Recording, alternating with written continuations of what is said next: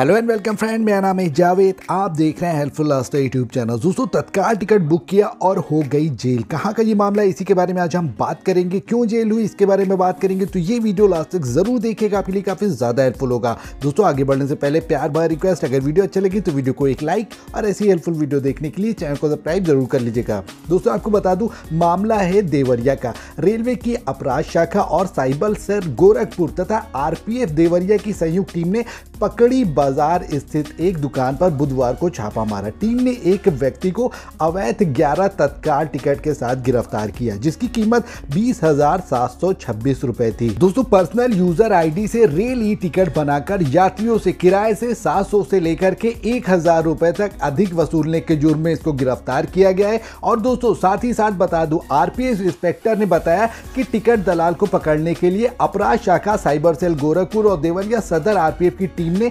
मदनपुर थाना क्षेत्र के पकड़ी बाज़ार में छापेमारी की।